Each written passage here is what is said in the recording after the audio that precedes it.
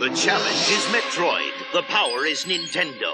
Defend the planet Zebes against the evil Mother Brain. It's survival or destruction. Do battle or die.